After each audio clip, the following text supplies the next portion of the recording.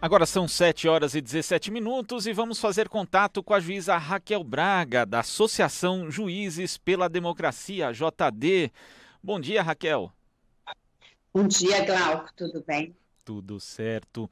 Raquel, a gente tem aí o episódio, né, que começou na sexta-feira, o pedido do Ministério Público Federal do Paraná de progressão de pena para o ex-presidente Lula. Depois tivemos aí a carta do ex-presidente dizendo que não barganha com a sua liberdade, não troca a sua liberdade é, enfim, ele não faz barganha política, no caso, segundo ele, e tivemos ontem ainda mais uma novidade, que foi a juíza Carolina Lebos determinando que o ex-presidente, se quiser passar para o semiaberto, pague 4 milhões e 900 mil reais.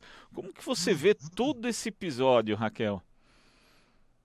Esse episódio, ele é mais um que caracteriza o processo de exceção que é, é exercido sobre a figura do ex-presidente Lula. Bom, primeiro, o regime semiaberto é uma das coisas mais incompreendidas na, até para as pessoas da área do direito penal. E eu baseio a minha afirmação no texto do Luiz é, Valois, que é juiz criminalista e que está rodando na, na rede, no Facebook do próprio, e que ele explica que a origem do semiaberto seria em consequência das penas longas e tem como finalidade a ressocialização. Então, o preso, ele pode escolher se ele vai fazer uso desse direito ou não. É um direito do preso. E muitos presos, inclusive, recusam pela sua própria segurança. Então, é, em razão do crime cometido, em razão das ameaças sofridas, o preso prefere é, não fazer uso desse direito. Então, está na faculdade do presidente Lula se ele vai é, fazer uso desse direito ou não. Primeiro. Agora, é, o Ministério Público não costuma pedir o semiaberto para os demais presos. Deveria fazer isso mais vezes, porque se o preso quiser fazer uso desse direito, é aconselhável que o Ministério Público assim haja. Contudo, o Ministério Público se vê numa campanha é, pelos próprios vazamentos, pelo próprio livro do Janot, se vê numa campanha de recuperar a credibilidade. E nessa campanha, né, que é uma tentativa, depois de tudo o que aconteceu, é uma tentativa praticamente é, mal sucedida, mas está tentando algum crédito e faz esse pedido para é, o presidente Lula. Contudo, a juíza, a mesma que confirma a sentença do Moro, Sentença essa, apontada por vários juristas, aliás, há mais de dois anos, Glauco. Aí eu faço a ressalva para o Brasil atual, que vem denunciando as irregularidades. Então, para os juízes que cumprem a lei, que sabem da, do valor do devido processo legal, já vinham é, denunciando o tipo de processo de exceção que estava sendo praticado contra o presidente Lula. Então, toda essa questão midiática, todo o processo penal do espetáculo, todas as medidas é, de exceção, medidas de abuso de poder. Então, agora todos já estão, inclusive da, da direita, inclusive do centro, já estão com essa posição formada, inclusive, acredito eu, o STF, diante de tantas confissões expressas, né? o próprio livro do Janot é uma confissão expressa de que o Lula sofreu um processo persecutório. Então, nesse contexto, que está claro isso, é, o Ministério Público tem aí uma tentativa de salvaguardar o que resta da instituição, porque isso, esse processo pôs em, no alvo o judiciário, o Ministério Público, e agora a gente espera que o STF reponha no trilho da legalidade esse processo. Agora, existe essa motivação política, né? A gente sabe que o, os processos contra o ex-presidente Lula no âmbito da Lava Jato, como você disse, né, Raquel, muitos juristas vêm denunciando isso há muito tempo, das, da, desse tipo de motivação, inclusive aí da falta de fundamentação jurídica, mas a gente tem aí é, também, além dessa, dessa questão política, teria outras motivações jurídicas? Porque, por exemplo, tem pessoas que acreditam que, na verdade, a intenção do Ministério Público, além de salvaguardar aí o que resta, digamos, da sua moral, seria uma forma também de tentar atrasar o julgamento do habeas corpus relativo ali à suspeição do juiz Sérgio Moro, já que, em tese, o principal objeto ali, que seria a liberdade, estaria prejudicado. E também a gente teve a participação do advogado Fernando Ideu no programa Bom para Todos, aqui da nossa colega Thalita Gani, na TVT, em que ele disse que poderia ser uma jogada para colocar o, o ex-presidente Lula em liberdade por algumas semanas, para depois ele voltar à prisão por conta de uma eventual condenação ali no caso do, do já do sítio de Atibaia e aí ele voltaria para uma penitenciária comum, como inclusive já se tentou fazer há, alguns dias, né, algumas semanas. Então, como você vê isso, Raquel? Existem motivações também jurídicas de fundo? Veja bem, é, tudo é possível, né? Ah, e se tratando do presidente Lula, todas essas conjecturas, em se tratando de todas as medidas que foram tomadas pelo Ministério Público, pelo juiz, pela Polícia Federal, todos agindo em, em combinações, é, é sempre bom dizer que esse processo do Lula é um processo que tinha uma arquitetura montada. É um processo, diferentemente dos outros, que começa na sentença. E a partir da sentença, ou seja, ele já estava condenado. Então, vem se constituindo um processo para chegar nesse veredito que já era um veredito é, pronto. Isso em consequência do que se diz, né? Moro é suspeito, o Ministério Público agiu de forma também suspeita. E tudo é possível, todas essas hipóteses, né? Atrasar o processo, soltar e depois prender, porque é, esse espetáculo midiático, é, desde a Dilma foi um golpe jurídico, foi um golpe midiático, foi um golpe parlamentar, e com Lula, um golpe é, do judiciário, né, o judiciário como protagonista, infelizmente, para retirá-lo da eleição. E todas as coincidências, tirado Lula sai da eleição, Bolsonaro vence, Bolsonaro escolhe Moro é, ministro da Justiça, com promessa de indicação ao Supremo, mas com toda a questão do vazamento e o desgaste, então o Moro já não é mais bem quisto pelo Bolsonaro, todas essas questões políticas e jurídicas é, misturadas e o processo usado, como já também já foi dito, como lawfare, que é uma arma contra o que se uhum. considera inimigo, e o inimigo aí, o inimigo político. Agora, questões jurídicas desse processo, né? Alguns falam assim: é, seria bom que o Ministério Público assumisse, que o Moro também assumisse, que houve a suspeição. Só que antes de haver suspeição, há que se discutir a competência, né? Só é suspeito o juiz que, primeiramente, é competente. Nesse processo, inclusive, não há nem competência. Competência é a medida da jurisdição. E a competência ela é definida por critérios de ordem pública, interesse público e comodidade das partes. Primeiro o interesse público, depois a comodidade das partes. Então, veja bem, então essa competência pode ser definida pela matéria ou pela pessoa.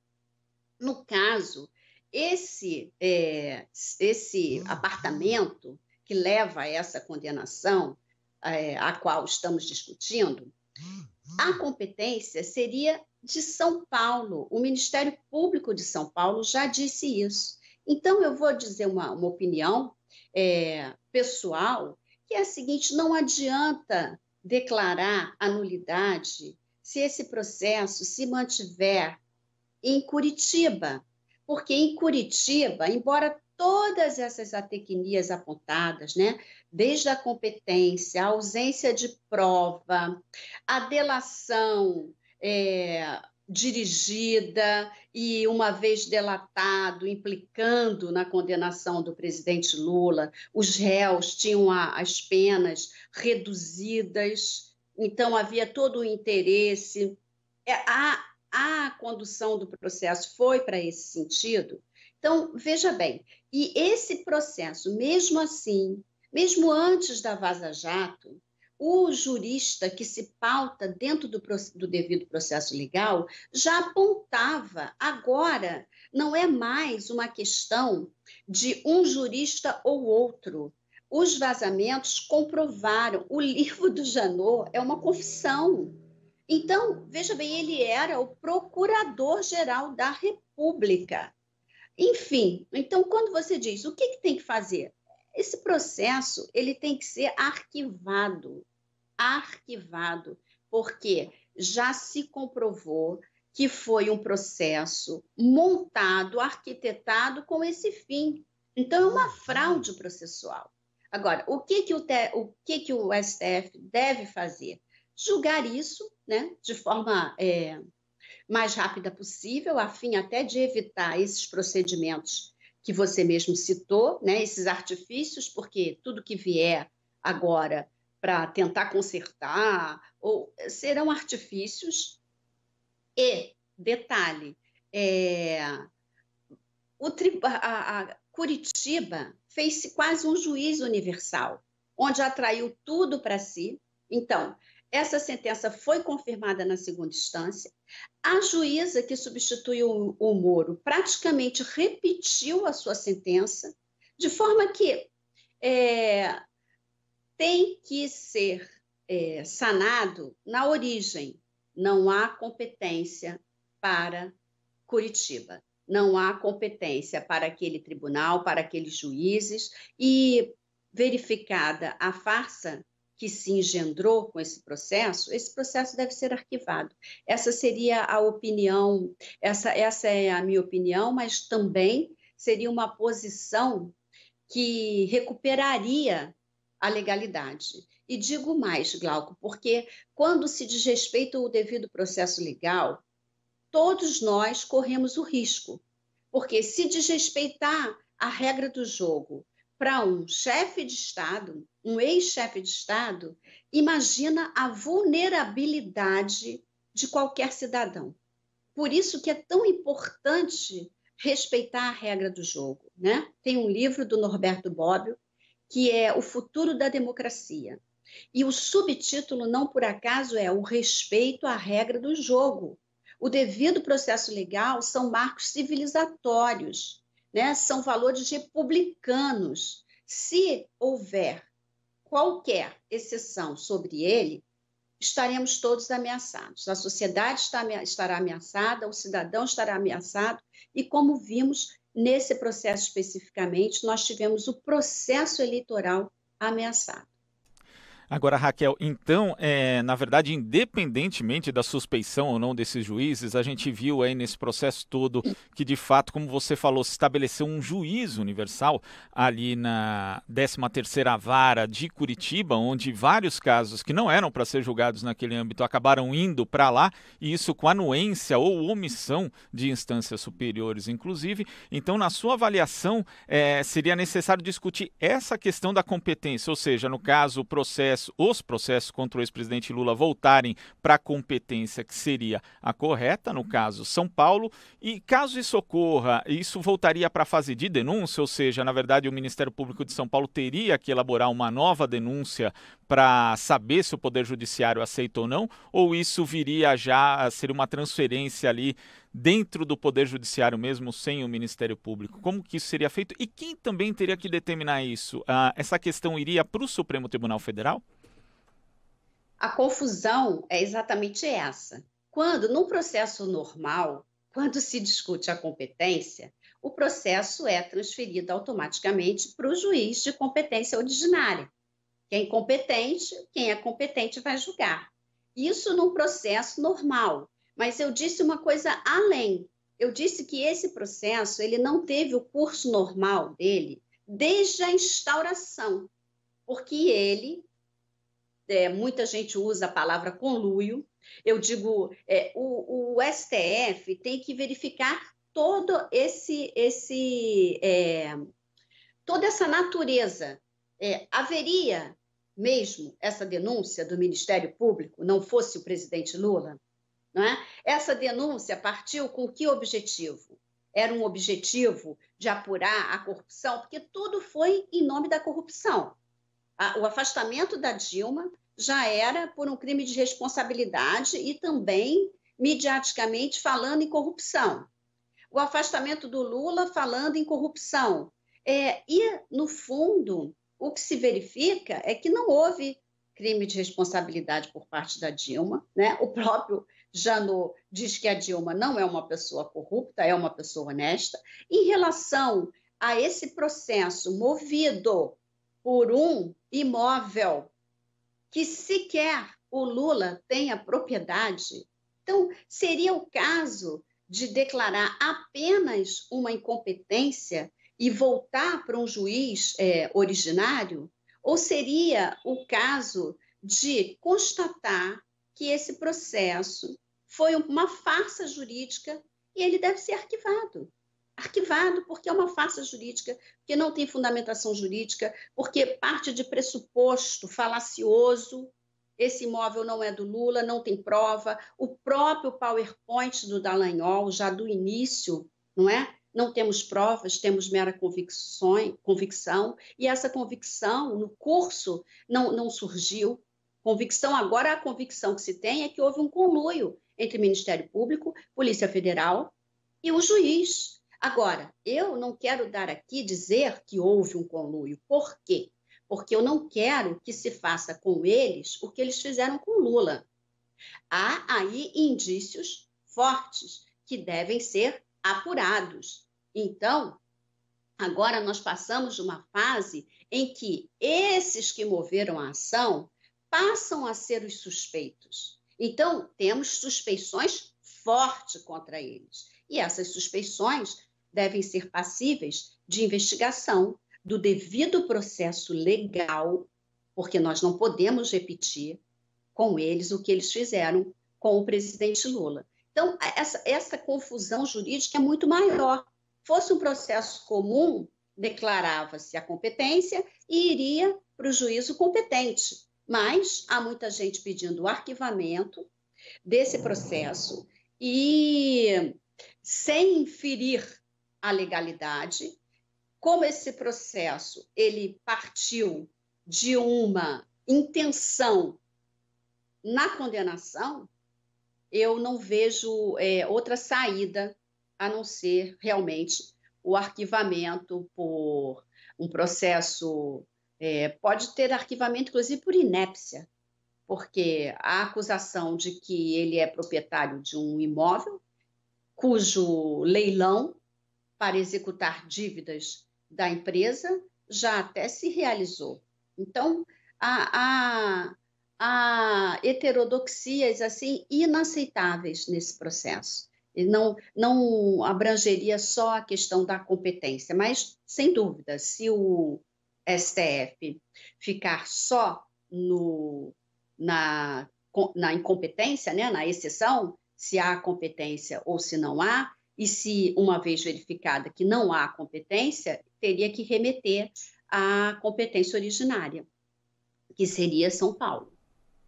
Certo, Raquel, para a gente concluir aqui, é, a gente sabe, né, como você falou, o Ministério Público Federal do Paraná tem motivações aí, políticas, talvez também de cunho jurídico, para fazer esse pedido anômalo, porque não é usual o Ministério Público pedir é, progressão de pena para qualquer tipo de preso. A gente sabe que isso ocorreu com o ex-presidente Lula e não foi por motivo humanitário, mas hoje a gente tem muita gente no sistema carcerário que tem direito à progressão de pena e que falta assistência jurídica. Seria o caso, por exemplo, do Ministério Público no Brasil é, seguir, de repente, o exemplo e pedir progressão de pena para vários presos comuns que não têm direito à assistência jurídica, né? E aí não por motivos políticos, mas pelos motivos corretos, já que a gente tem uma lógica de encarceramento em massa no Brasil e hoje, inclusive, um tema que a gente vai tratar mais adiante é aniversário do massacre do Carandiru, que a gente sabe que é simbólico disso. Seria o caso do Ministério Público fazer esse mutirão?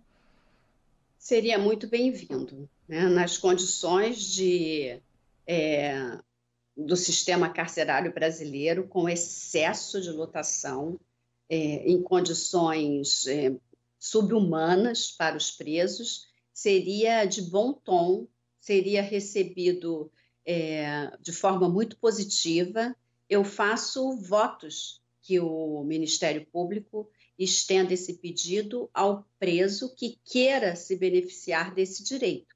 Que, como eu disse, esse direito tem que, tem que ser uma cooperação do preso. Ele precisa sentir necessidade e querer fazer jus desse direito. Não é arbítrio do Ministério Público ou do juiz. E seria excelente medida. Fico esperando essa atitude proativa do Ministério Público com em relação aos demais presos. Tá certo, Raquel, muito obrigado pela sua participação e até a próxima. Obrigada a vocês, bom dia. Bom dia. Conversamos aqui com a juíza Raquel Braga, da Associação Juízes pela Democracia, JD.